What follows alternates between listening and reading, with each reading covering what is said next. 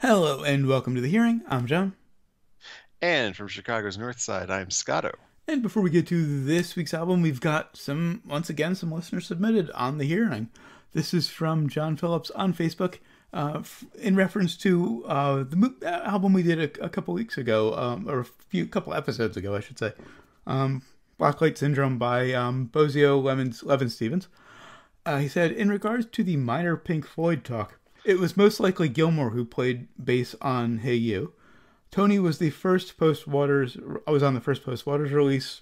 Um, not momentary lapse. Was it momentary lapse? Yes. Yeah, a momentary lapse of reason. That's what I figured. Um, I saw. I mean, him, there's only two post Waters albums. I mean, Oh, you're not going to count the Endless River. Fuck Yeah, that. That, that was just Momentary uh, Lapse odds and and Bell, sods. Yeah, it was momentary lapse and division bell. Yeah, and John Fellows finishes up with saying, "I saw him play with Gabriel. Something to see." Um, well, Gabriel live, of course, is something to see, but also Oh, Tony, yeah. Tony Levin is, and I say this as a bassist. The man is just amazing. I mean, and not just as this, you know, incredible bass player. The the drumsticks were, was Yeah. fucking inspired. The man has little drumsticks that he puts on his fingertips.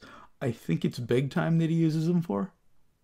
He he uses them on a lot. I swear, when I saw them live, he. I'm just like, I, I mean, it's in an arena, but you can see them Uh-huh. yeah. from across it. You're just like, wait, what the fuck is he doing? He's got these things on his fingers. He's got little tips for uh, fingertips that he has small drumsticks attached to that he plays bass bass with.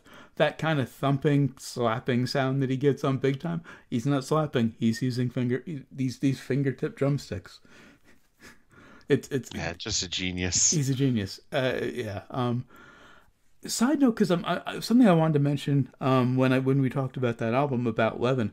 I read in an interview years ago when he does a session in the UK versus America. It's very different experiences. Over in the UK, they ask him to. They always ask him to do something different. You know, do something interesting. In America, it's always just stick to the groove. I just found that as an, an interesting dichotomy. Now, something I forgot to mention last week, um, in, in my um, fusion binging to prepare for that review, I found out that the title Sapphire Bullets of Pure Love was used well before They Might Be Giants. Oh, It was a Mahavishnu orchestra song from their 73 album uh, Birds of Fire. And the track is just 24 seconds, really 20 seconds. It, it goes silent at 20 seconds of the band just making noise. there's a lot of that from the early '70s. It, it, it cuts like four seconds before the end of the track. I, I didn't check the next track. It's kind of like probably just like a prelude to the next track, kind of like the beginning of this week's artist, um, Shoot High Aim Low, where it's almost like there's orchestral tuning up sounds. Yeah, kind of probably Oh, okay. something kind of like that. Um, not like seven, you know, creatures and a you know furry creatures. I can never get the title of that Oh, yeah, song right. but you know, it, I was just when I saw that Sapphire Bullets of Pure Love, I was just shocked that you know they did this in '73, and then somewhere in the '90s, I don't remember the year offhand, TMBG just your yanks the title for one of their tracks and writes lyrics around it. T TMG, uh, you know, they, they, that's just the type of thing they would do. They Yeah, are very. They, that's the thing that they would go for. Right, right. Also, of course, because it's that time of year, early December, Spotify did their wrapped, you know, year-end thing. I completely forgot about it until you. I thought it was going to be a little later. I was in expecting December, it a couple later too, but then a couple weeks in, in a couple weeks, I was hoping it would be done. I figured it would be done before we finished wrapped for the year because last year we finished up in on like December twelfth, and we talked about it. So I knew it was going to be early December, but then I saw a bunch of people posting it on Twitter. I forgot. I think they they only go to the end of November. Yeah, and then yeah. they count at that. Yeah. I, I know it cuts off in November sometime because there was somebody I was binging at the end of last year who wasn't on mine. Oh. but this year, um, Band-Maid was not my uh, artist of the year, um, because they released their last album at the end of last year, and I guess there was a lot that I had listened to since then. Artist artist of the year was um, Freezepop, of course. I've been binging them since late September when the new album came out. Um, and it's odd because I think I've you know I'll see your your uh, playing, Mhm. and I, I think I've only seen them recently uh, on your play. Like not like Well, it's I haven't seen been- them frequently from I see. Well, it's been since I, I kind of got back into them. Uh, vamping here because I'm bringing Facebook up again because I don't have my full list. Um, but I, I got back into them in I got the my um, Kickstarter copy of Fantasizer in like late September, very early Yeah. November or October rather, and ever since we reviewed them. yeah. Um, well, no, a few weeks before we reviewed, I because of the Kickstarter, Yeah. I was able to get it. Um, so I started binging them then, not just the new album. Actually, those for those few weeks, I wasn't listening to it on Spotify because it didn't hit Spotify for like a month or two after we reviewed it, or a month or so. Um, but I was listening to a lot of their older stuff, particularly a lot of stuff from uh, their previous album, Imaginary Friends, and I've been kind of obsessive about them. Um, just again bringing up my um, full list. Let's see. Um, oh, of course, if you click the link, it goes sh- straight to. Okay, slight complaint, tangent. I had to do this on my phone this year. Yeah. In previous years, you could do it in a browser. I'm old and have bad eyes. I don't like doing things on my phone that I don't have to do on my phone. I accept it with Instagram because they've always been that way, but Spotify really irritated me. And some of that went by so fast you couldn't even read it because they were just putting Yeah. up all of this data on you, Mhm. and you're just like, wait, what? I was surprised that fake names didn't factor in more so because I played the shit out of that album when it came out, much like Fantasizer. Um, they were played during that whole montage. Didn't end up on any of my lists though. Um, my top artists. So, I'll go oh, in uh, ascending order. Five, Robert Sure. Plant. Five, Robert Plant. Four, St. Vincent. Three, Punch Brothers. Two, Jellyfish. One, Freezepop. No surprises, except I was I would have expected fake names up there. Um, my genre was rock. Interesting thing here is Plant is the only rock artist there, or you know, and it's mo- mostly um, the al- Principles of Moments, the one we reviewed, which is really more new wave Yeah. than rock. You know, St. Vincent, I would consider pop. Jellyfish, definitely pop. Uh, Punch Brothers, progressive bluegrass. Freezepop, synth pop. Um, here we get into the interesting part. Um, my top songs. Goes to number one at number five, more Jellyfish. Fadoodle by Lickerish Quartet. Lickerish Quartet, for those who don't know, is the is three quarters of the last touring version of Jellyfish. Everybody but Andy Sturmer, the drummer and vocalist, who they all hated okay. they all got back together. Same kind of music. Um, couple of St. Vincent songs next. Marrow and um, Digital Witness, the two that I listen to obsessively. Um, kind of surprised Hang on Me. I, it wasn't in there. I listened to that one a lot too. And uh, Rattlesnake. Um, I'm kind of, you know, like every St. Vincent fan, kind of hooked on uh, self-titled. Hmm. And number one, uh, number one, this is the interesting thing. Um, this is the discussion. Snakes on a Plane, Bring It by Cobra Starship. and I've never seen that on your status. No, no, ever. because it's a guilty pleasure, and I always make sure it's not the last song I listen to.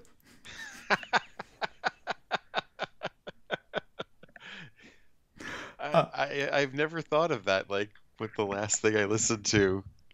Because I think it's even stopped putting like the if you're in the middle of the song, it doesn't put it on there. Okay. I don't know how exactly how that works, but I know the last thing I listen to, other people will see. So if it's something that is a bit of a guilty pleasure, I make sure it's not the last thing I listen to. it's just, I mean, the lyrics are cheesy as fuck, but it's just got a great groove. I enjoy it. I've always, I've liked it ever since I saw the movie, saw heard it in the closing credits. I, Yeah. I, I think I pirated the MP3. I'd forgotten about it until earlier this year, until um, Spotify put it on one of my lists. I'm like, oh shit, I used to love that song. So yeah, I I listened think to it quite a bit. the video or heard the song before I even saw the movie. Oh wow. Because I re- remember, well, remember Snakes on a Plane. There was a lot of hype hmm Yeah. building up to that movie, and yeah, that was one of the things. Kind of like Cobra Starship, huh? I've heard, I've checked out a couple other other songs. They're horrible. Just it's just that one that I. It's just the groove I like. Anyway, you have your list? Uh, I could pretty much. I can't really go by songs because it's just songs from Ajai, Serengeti's Ajai. Oh, okay. But um, uh, and, and they kind of messed up because uh, Kenny Segal is probably just another name Serengeti's using. oh, okay. but it's it's who he did uh, Ajai with, so they have Kenny Segal as like the second, you know, most listened to artist. Um, So yours is basically just Chesky and, and Serengeti. Serengeti was my was my number one. Mhm. In fact, I am.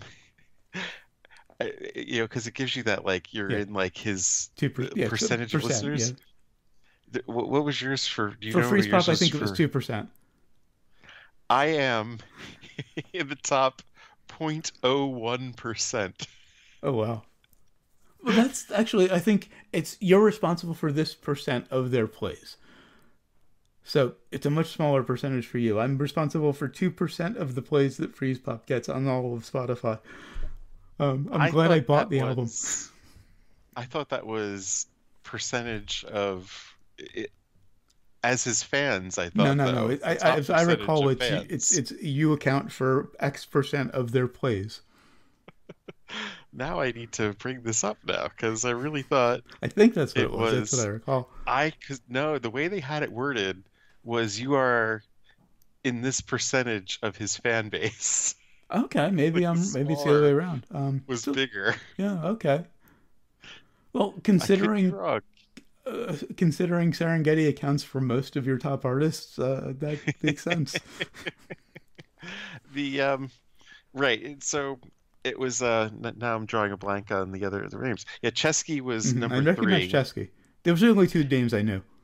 and uh, honestly, on Margaret's, he's number one because of me on Mrs. Scotto's. She's like, "Damn it, you ruined my list, my rap list." I told her how to take things out. And then I think Serengeti was like number five on hers too. Uh. So, like she was listening to it all. I mean, I, I, I messaged her, told her how to remove things from her history, so hopefully she's done that. All right. so uh, fourth on my list was uh, Pearl Jam, and then uh, fifth was El-P, the other half of Run the Jewels. Okay. I, I was into his solo album for a while. I think really fifth, if we're counting Serengeti and, and Kenny Segal Mhm. uh, in one, it would be um, actually Lennon Claypool Delirium Okay. Okay. because I Um, listened to them quite a bit early in the year. I was wondering about LP because it's EL P, Yes. and I was confused. Is this some variation of Emerson, Lake, and Palmer? It was funny because, you know, I'm looking for Emerson, Lake and Palmer records, you know, back in Mhm. the day, and, you know, then it's like, wait, who's this guy?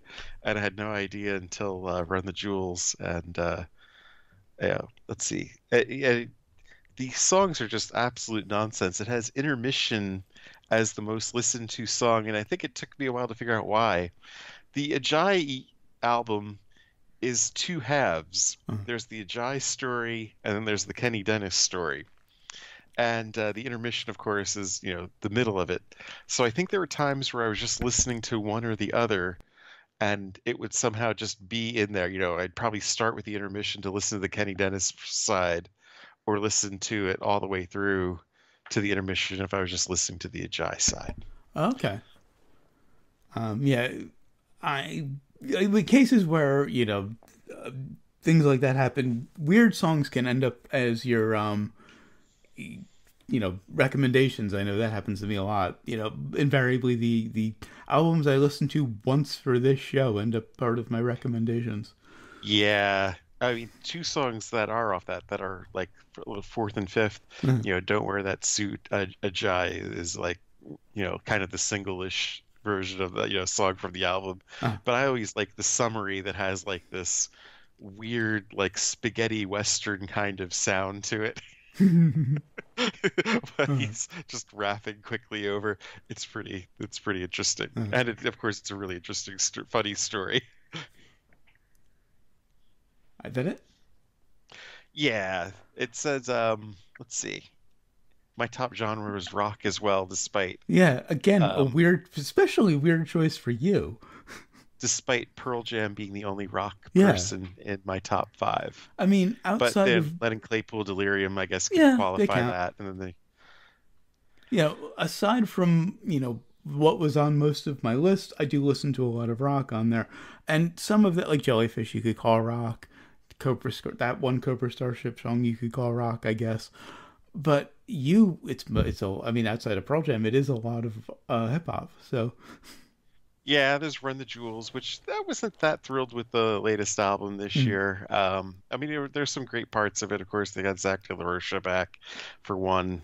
Zach De La Rocha and um, oh, Pharrell doing something together, which could have been better, but just to have the two of them together working Mm. together was really kind of neat. you mentioned Zach De La Rocha. There was something I sent you on Facebook a while ago. I need to do we need to discuss. I need to remind if you saw it involves Rage Against the Machine. Oh, what? Well, we'll discuss later. It was a video from Okay. a, around the time of the. Oh, I'll just mention there was a video from around the time of the you know stop the count, count the votes protests, Oh, it was the couple that was dancing you know at, at a stop the count protest to killing in the name of. yeah. They, I don't think that that means what they think it means. Exactly, exactly. Because they were also, it was like a Blue Lives Matter flag, and it was kind of like, I think that's quite the opposite of what Yeah. they were going for in that. exactly. Um, before just a hunch. Before we get to this album, one last thing. Just quick plug for Band-Maid's new single, Different. They dropped it yesterday on YouTube and Spotify. Great song. Um, probably the heaviest and one of the noisiest songs they've done so far. Um, and the last song on their previous label before they moved to their new one, new album's going to be out on January 20th. Um, so of course, you know, those of us who were a little gun shy since they did that song Start Over, which is a straight up 320 pop song. It was a deliberate attempt to do a 320 pop song. They succeeded rather Yeah. well. A lot of us are very nervous that they're going to go in a pop direction with the new label. So we'll see. Anyway, finally, on to this week's album, which is from 1971, Fragile by Yes. A little change in plans. We were going to do the Yes album, but then we got to talking about it after last week and couldn't decide between Fragile or the Yes album. I lean toward the fr- Fragile because there there were more songs on it that I hadn't heard before, and because it was easiest to easier to to Photoshop into the thumbnail, and to be honest, because my favorite Yes song is on this album, so my favorite was easy to pick. Um, so there. I'm I'm struggling. I'm struggling between which one as to pick as my strongest, Uh-huh. honestly. Anyway, Yes are an English progressive rock band formed in London in 1968. Throughout the band's history, there have been 19 full time members. That's funny. That is staggering. I knew a lot of people were in Yes, but that is staggering. I think, I don't think any of them have been there the entire time. Uh, except, uh, I think even mean, Anderson has it's a- bowed out at times. Well, yes, definitely. Anderson. Uh, yeah, I wasn't thinking of that because I think they picked up. I was thinking Squire would be the the one until his No. passing. Oh, oh no, I think Relayer, where they brought Trevor Horn in, I think Trevor Horn played bass on it. Really? I'm pretty sure he played bass too, as I well as know vocals. that. We'll have to check. But Huh. Uh, maybe Squire's been there the whole time. I'm not sure. Anyway, the, of, among those 19 members are uh, such legendary musicians as Steve Howe, uh, guitarist Steve Howe, and keyboardist Rick Wakeman, both of whom played on Fragile, which is the band's fourth studio album. It was released on November 26th, 1971, on Atlantic Records, produced by Yes and Eddie Offord, and features Jon Anderson on lead vocals and backing vocals, Steve Howe on electric and acoustic guitars and backing vocals, Chris Squire on bass guitars, backing vocals, and electric guitar. Take deep, deep breath for this one. Rick Wakeman on Hammond organ, grand piano, RMI 368 Electra piano and harpsichord, Mellotron and Mini Moog synthesizer. I love how keyboard players back in the 70s and 80s would list everything they played. If you were Right. a burgeoning keyboard player, probably was very cool because you got to see all the got to find out all the gear they used. And Bill Now- Bruford on drums and percussion. I'm looking at because of course Wikipedia does the crazy, you know, timeline of the band, hmm and Squire, I, like there's like a brief like 1981 where there's nothing Uh-huh. for some reason. Uh, Squire is there the entire time, Oh, and there's also nothing between like 2005 and 2009. okay. I guess he did play That- bass on Relayer. I thought Trevor Horn did because Trevor Horn is a bassist, played in the vocals. So I thought he came in on vocals and bass, but Squire was still there. So Squire is the continual member, even through Right. ABWH, Anderson, Bruford, Wakeman, and Howe, which didn't have, which was this lineup without Jon Anderson. Anyway, reminder: I don't edit any songs into our reviews for copyright reasons, but down in the description, if you're listening to this on YouTube or on our blog at johnscotto.com, you'll find links to find Fragile on Spotify and YouTube, so you can follow along if you'd like. On to track one. There's like four absolute fucking classics on this album, starting Yeah. with track one, Roundabout. Lo- probably their most favorite song, most famous song, I should say. Um, Yeah, love the way the opening fades in. I think it's backwards guitar. Uh, and just that whole acoustic guitar in the opening. Love, absolutely classic. Also, absolutely classic is the bass line. It's it's kind of almost like the the stairway of bass. the the intro. I was kind of wondering, is does it really fit the rest of the song? you know that that cla- no. that classical guitar that he's doing at the beginning that fades in. It doesn't fit the song, but it is just so memorable and so brilliant. And it's really a fake out though, isn't it? Oh, It's yeah. just like uh, you know, a lot of bands I think were doing that at this time where uh, they're they're building your expectation of this twee kind of, you know, Mhm. classical band and and they're ready to, of course to give you like a left hook that Yeah. you're just not expecting. and I love how that heavy bass and that riff is all bass, that not guitar. And It I, is. I love how that just hits you out of nowhere. And the guitar in that point, it's still acoustic for that first verse. He's just playing harmonics. That's the weirdest thing that, you know, I don't think I ever really noticed that. I mean, I always knew that that was the bass, you know, going eh, because it's just so goddamn funky, especially for a prog band. But i in the back, Howe is still playing this acoustic guitar Yeah, to go along with this. Playing like, harmonics on this acoustic. You don't get an electric guitar until the chorus. right. Well, speaking of the chorus, love the fast keyboard part and and the vocal harmonies. The vocal, I mean, that's one thing. Yes, you you have to love about Yes is the harmonies. Like Yeah. they all sang and all sang brilliantly. Um, I, I probably even Bruford.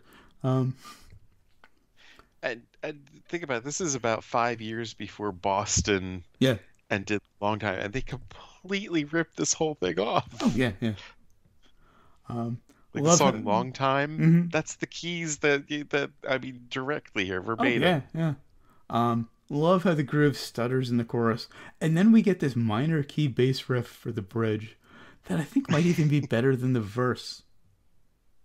That bridge, are you talking about that at 320? Yeah. The, where it just goes into this like kind of mer- almost merengue kind Yeah, of. Yeah, yeah, exactly. You're just like, wait, what? Uh, yeah, like, it's kind of like you you remember when you first listened to this song, you're like, "Wow, I did not see this coming." and then they go back to the chorus, but it's acoustic and really soft. After this Yeah. a thunderous minor key bridge, and then they just get loud again. Totally ripped off on the Lamb, but I think it was almost like a nod, like the part Yeah. that he just played briefly in like Hairless Heart. Right. Um, then it just gets explosive again. I love how insistent Bruford gets during the instrumental break. And then we get Steve Howe and Rick Wakeman trading solos. Right, you kind of get this, you kind of get the classical prog sound almost six minutes in, Yeah.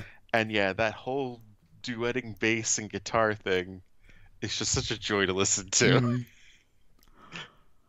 And it's just they get so loud on this one. It's which is not an adjective you would typically associate with Yes, even though this is probably their best known song. Outside of A like the of 90125 album- stuff. A lot of this album is balancing the really quiet Yeah. and the really heavy. But yeah, they they do this duet with the bass and the lead guitar, and then they split so briefly and this start doing this like kind of separate showboating at the same time. Yeah, yeah. And we were talking about this last time. Wakeman was only in the band for like two albums, but Yeah. he's so iconic that you know he's the only one you really remember. I know Tony Kaye because of 90125, and I that's when we all rediscovered them. But you know, Wakeman is is so closely associated even with the band, even though he was only in there very briefly. They bring him back though, I think, according to this timeline, in like the early or like in the late 70s. Oh, okay. Which which I think because one of my favorite albums for them, and I wasn't really expecting this, is like in the late '70s called uh, "Going for the One." Okay, I know the title. So I'm not familiar with the album though. Yeah, it's just, it's just it's almost like a a normal album, whereas this is kind of like their last normal album until that. When I say normal, mm-hmm. you know, like eight to twelve songs. Classic, yes. you know, going going into one record because after this, you know, it's like three songs oh. is the album kind of thing. Oh. Before they get proper prog. and then yeah, then you get you know the highlight is Tales for the summit is uh Tales for from Topographical Oceans, right. where it's just it was too ridiculous even for wakeman's standards. But you mentioned the balance, and we talked about this briefly last week. I think it was on air. Yes was kind of like it seems from the outside. I've never read anything about this, but it was. It seems like there were two camps, or, or three camps. You have the hippies, Anderson and Howe. Yeah. And you can tell from the instrumental, guitar instrumental later in the album, Howe was a hippie. Actually, I distinctly remember when GTR ended, um, someone asked um, Hackett what it was like to work with um, Howe, and his his exact quote was one word: vegetarian. it's kind of strange because I mean, I think Hackett had another album planned mm. with them. Well, I think they did two through. albums, but um, no, I think they only did the one. Okay, I thought I remember. And Hackett Hackett had material written for a 2nd uh-huh. and then it never it never went through, and he wound up releasing it like way later, like in the uh-huh. ni- late '90s almost. Because they're polar opposites. You know, as I've mentioned before, Hackett is renowned for his e- his he's as renowned for his ego as he's renowned for his guitar playing. I don't know if I've heard. I've heard. I remember you saying that once. I don't really recall people. I mean, he's an odd duck, obviously. Mm. he strikes me as very egotistical and arrogant, and but, and just that kind of very um very masculine, very tr- you know I, traditionally masculine. And Hackett is such a fucking hippie. You mean Howe? Howe rather is such a fucking hippie. But I've but, never really thought of Hackett as like the. Okay, that seems to be what uh, I've gotten, but maybe I'm wrong. Um, I mean, he's always like the problem with Genesis was he was too soft spoken. Oh, you know, okay. to really. That's surprising. To, you know, maybe I'm wrong. Advocate um, for his stuff. Because, but it also could be his stuff wasn't as strong yeah, as the others perhaps. either.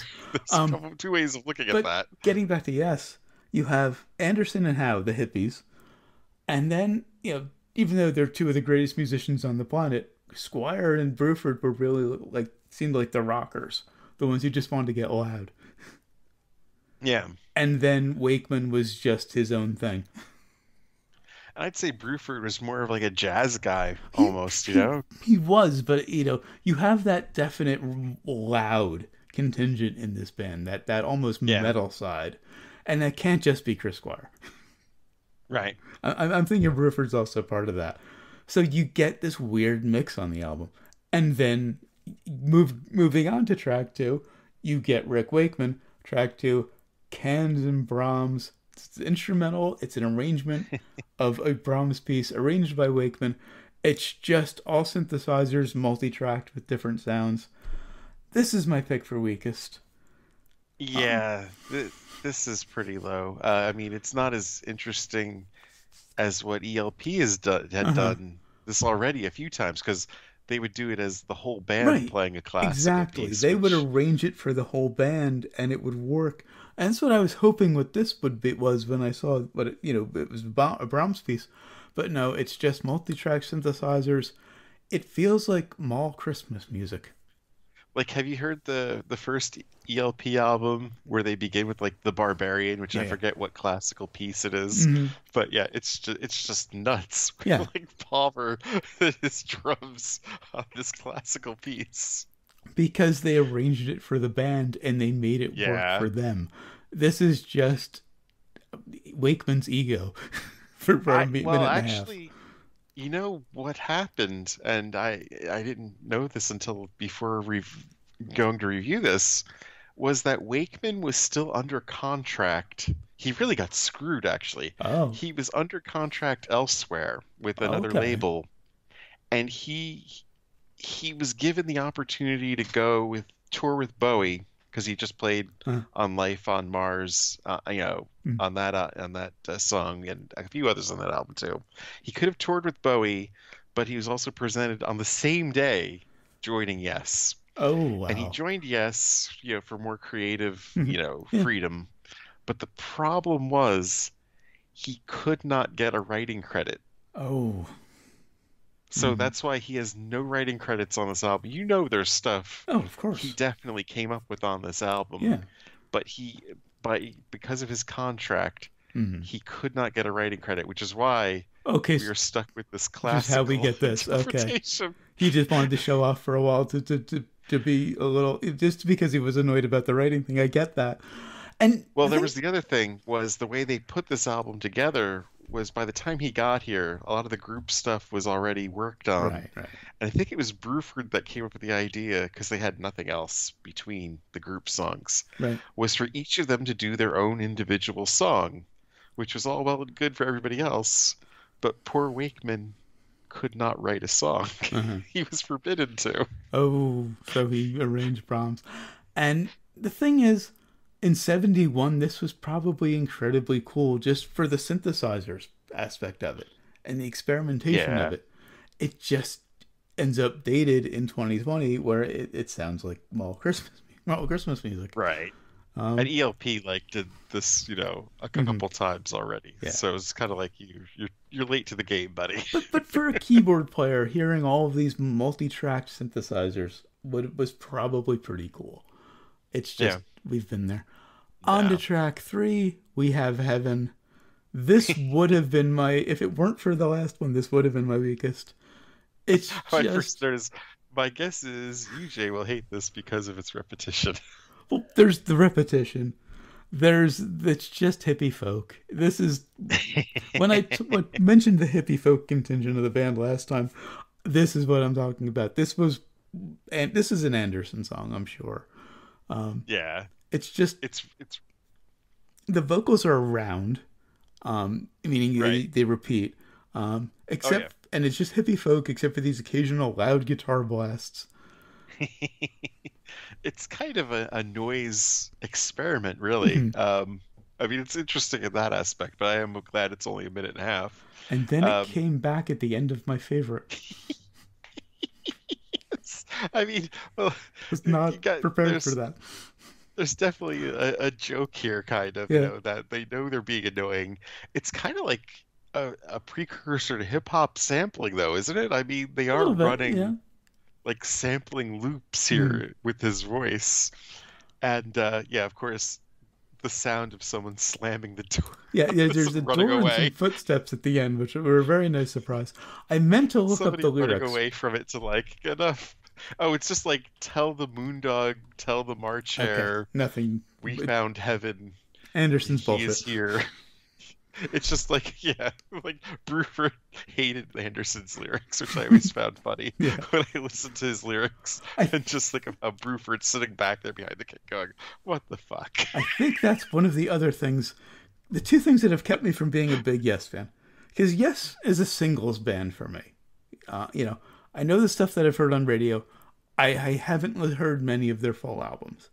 Um, and the two things that have always stopped me is Anderson's voice, because, and I say this as a Yes fan, knowing it sounds hypocritical, but as a Rush fan, rather, knowing it's hypocritical, because Geddy's voice is absolutely an acquired taste. But Oh yeah, and with Geddy, he's Geddy's basically doing a Robert Plant impression, particularly in the early days. He was trying to be Robert Plant, so he's histrionic and emotional. This is just Jon Anderson's voice. His speaking voice Yeah. is as high as his speak- singing voice, oh definitely, yeah. and he's got that hippie thing. So it's a lot of it is just mellow and folky, and really fucking high and twee, and I just can't. And then you get these new age navel gazing lyrics. if it wasn't for Jon Anderson, I would absolutely love yes, but I just can't deal with him. I need to check out ABWI or ABWH. Um, the one the album he was Anderson, Bruford, Wakeman, and Howe. I need to check that album out. But he's in that. He's Anderson. Oh, Anderson. The Squire is the one that's not on that. Right. No, I don't need to check that out. Sorry.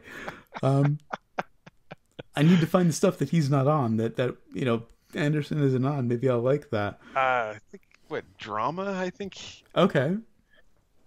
Um, uh, that's 1980. And right. it's, I mean, it's not really memorable, honestly. It's the Trevor Horn album. No, I think yeah. right, it's one of the Trevor Horn albums. Um, but that leads to something much better. It fades in rather nicely to track four, South Side of the Sky. Yeah, I just love the idea of them slamming the door on that, mm-hmm. and you mm-hmm. hear somebody running away from it, and into it. This absolute rocker. Love the groove. Yeah. Love how the bass and guitar blend. Um, this is not only a close second to my favorite on the album, it is a close second to my favorite by the band. Um, it, I would love to hear like a metal cover of this song someday. Yes. You know, like either a speed metal or death metal version.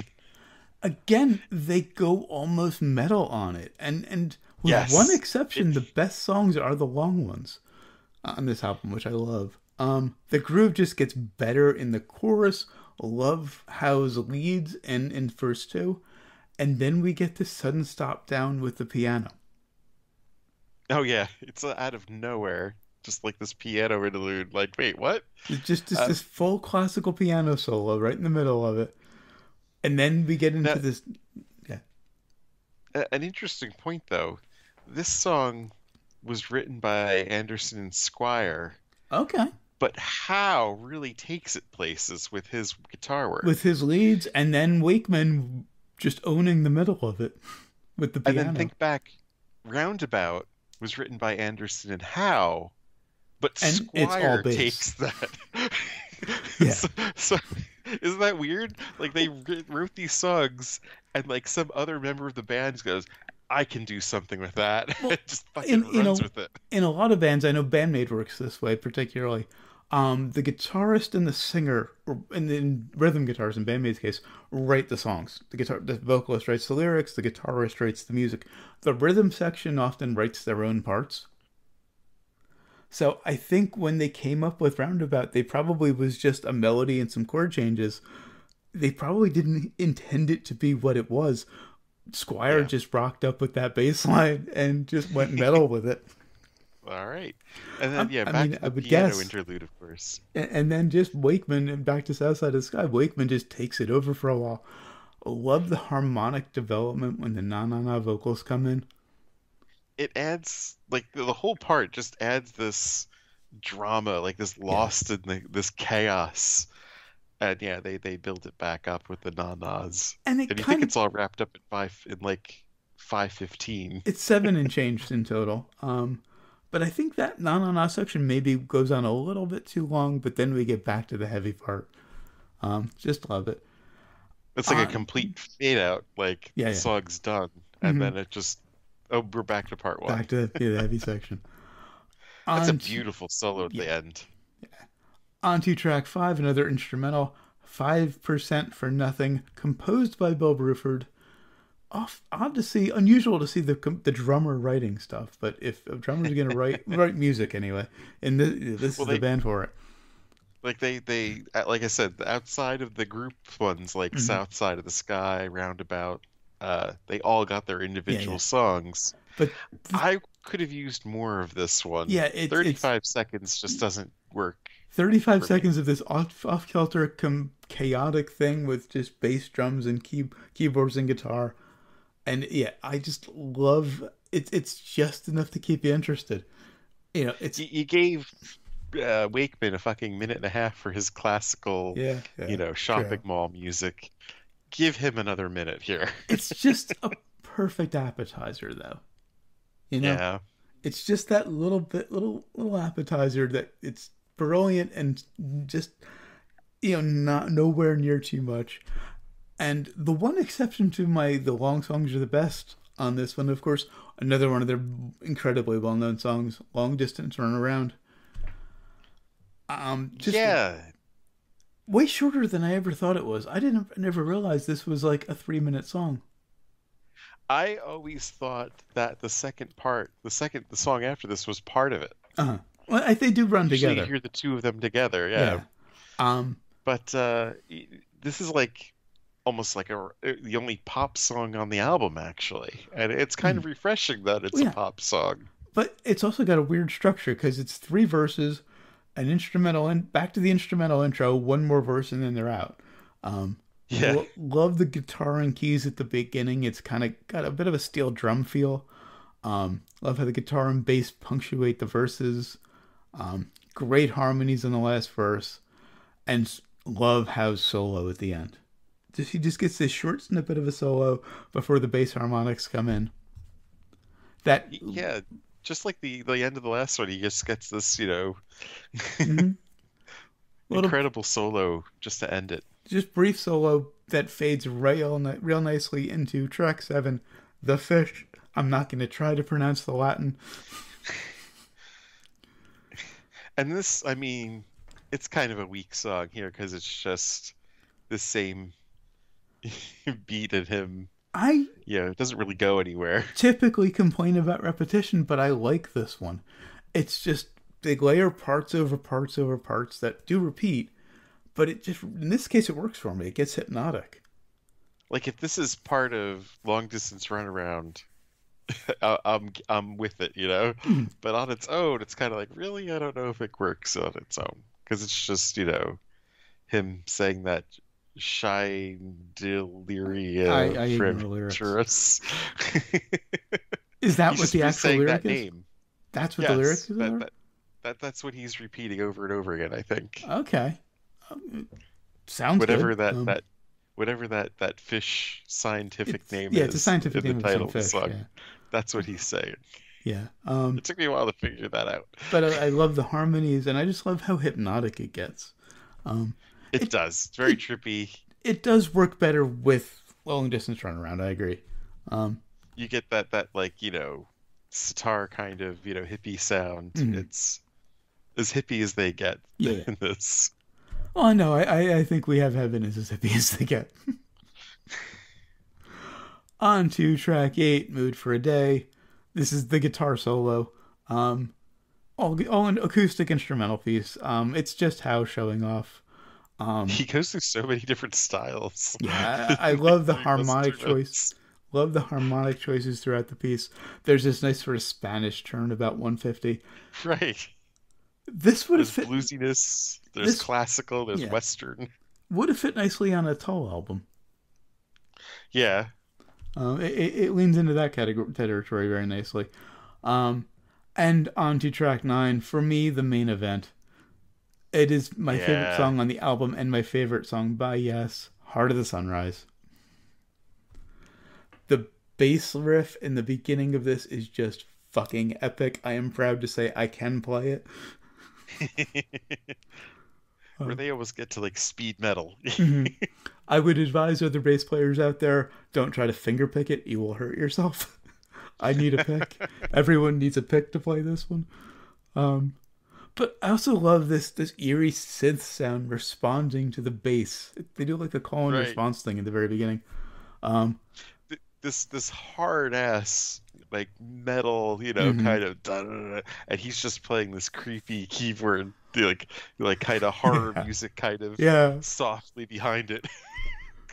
that you know, honestly, thinking, listening to this critically, Wakeman really does make this song. He's yeah, yeah. and he's not Oh, even yeah. like up front there. No. He's just willfully in the background supporting the whole thing and just acting like this whole creepy, weird science fiction kind of thing. This is Squire way out front owning it, and Wakeman just, you know, it's kind of that meme with the the new version of the Joker, the Joaquin Phoenix version, with the big one and the small one. It's that meme with like the big one is Squire, the little one is Wakeman, and they're just owning this whole song, just perfecting it. Um, I'm guessing this is probably another Anderson Howe piece that that Squire just took over. Uh, they they give Bruford a credit on this too. Okay. Um, but it starts off with I mean, this makes me I've always said Motorhead invented speed metal, but I don't know. This makes me question that. considering it's 71. But Yeah. then they just get through this thunderous intro and fall into this almost funky groove. And I think this could be some of Anderson's best vocals. I mean, where he's yes, just absolutely. At the toward the end, so just- soft and and Yeah. you're just like, wait, what? his dynamics are beautiful, but you know they fall into this almost funky groove, and then more horror music. There's this sinister mellotron. um, also, love the ascending and descending guitar parts before they go right back to that practically metal riff, yeah. and then it just suddenly gets soft. And and the so- the softness of Anderson's voice is one of the things that irritates me about Yes, but it works on this one. Oh, uh, but he's so soft on this, and I Mhm. mean, uh, the softness never bothered me. It was more of just the the pitch, you know, Mm, oh, that yeah. that highness. Uh, Jon Anderson's me a long voice- time to get into. Jon Anderson's voice is why I will never complain about the people or criticize the people who complain about Geddy's voice because I have my own version of that. And yeah, the same with Rush. It took me a long time to like, you know, sit down and listen to them because Uh, of his voice too. Um, love the tone of Howe's guitar in the verse. Love the walking bass that comes in. Um, there's some great guitar volume spells, and I Those absolutely parts where he's being so soft, Wakeman just working with those pianos uh and then those real synthy, I don't even know what adjectives you describe them, like mechanical keyboards kind of that part going over them. that part that comes in after lo- the line "Lost in the City." Yeah. that it, it's got to be a, it's a synth and it's just it's in an odd meter but it still grooves i don't know how they Right. pulled that off if someone were using that that didn't know what they were doing, it would sound fucking terrible. It'd Yeah. be like, what? uh, It'd sound like a Doctor Who, old Doctor Right. Who Yes. music kind of thing. But he's using it so melodically, hmm and he paints this whole sci-fi kind of picture of just this person wandering about.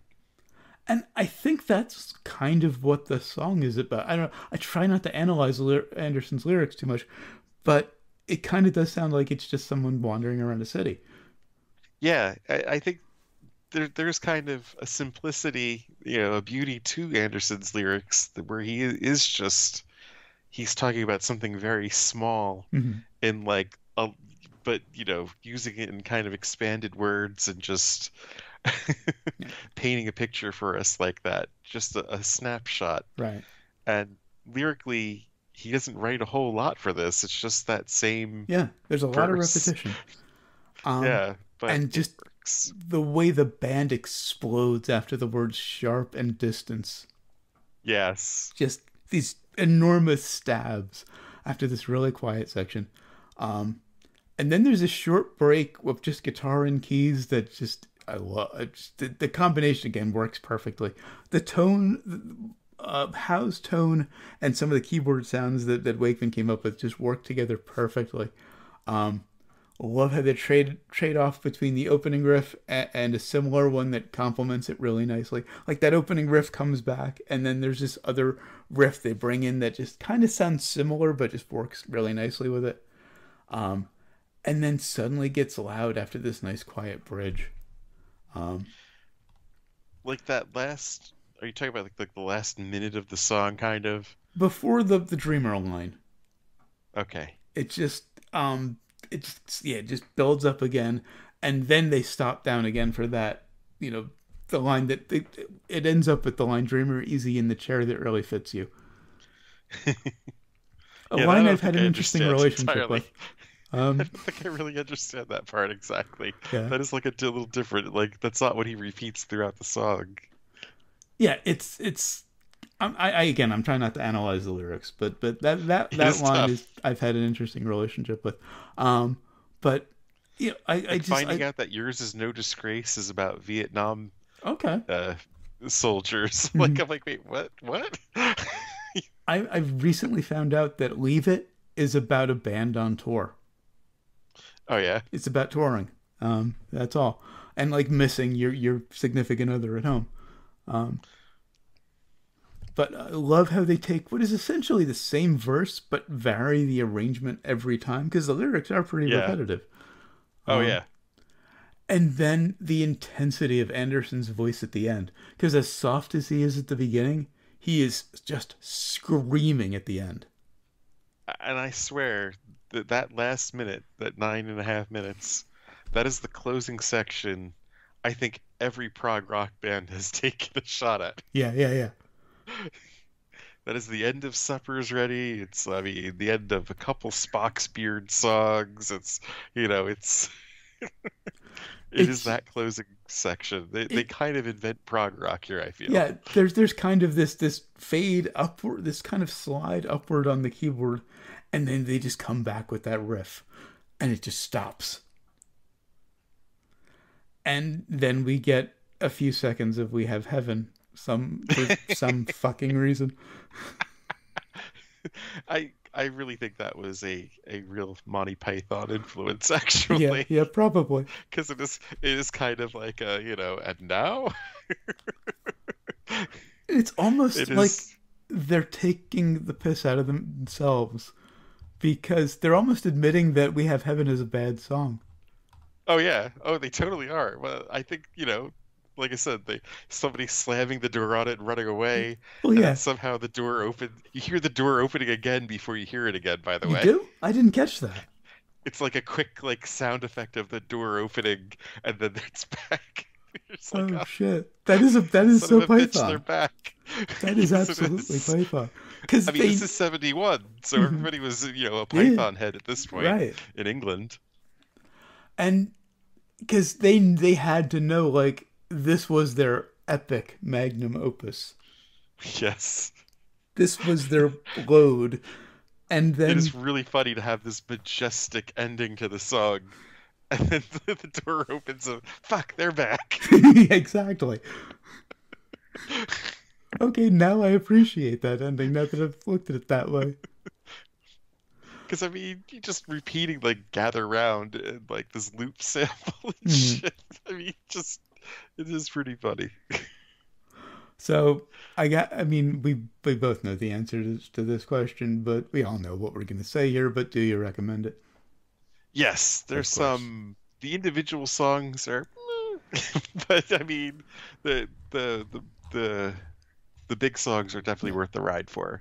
The And- little and the yeah. little ones are short anyway. Absolutely recommend. Just skip track two. Maybe listen to track three just so you're prepared for the end of of Sunrise. I Yeah. think when I was listening to this song on when an older phone, I did not have a whole lot of hard drive space, so I don't think Cans and Brahms made it onto it. Mhm. And I mean, if in any other year when we're not in a middle in the middle of a pandemic, if you're putting a, you're having a Christmas party and you want mu- mu- music that kind of sounds appropriate but gets people out the door, just put Cans and Brahms on a loop. Oh, I was gonna say you could do uh, We Have Heaven. No, I mean it kind of sounds like bad Christmas music. Just put that on a loop, people will leave. I mean, if you want to do We Have Heaven as well, yeah. That, that's how you chase me. That's Yeah. the Star Wars holiday special. Of, uh, Wow. Um, you hear the story, Carrie Fisher, like Yeah. When she had a party and wanted people to leave, she'd put on the Star Wars Right, holiday yeah, yeah, yeah, special. Look at yeah. that. Yeah. Anyway, that's it for Fragile. Until next time, we'll be reviewing Excitable Boy by Warren Zevon. Nice. Very different musically, but just as brilliant. Until then, of course, always remember never forget wherever you go in life, there you are. There you are.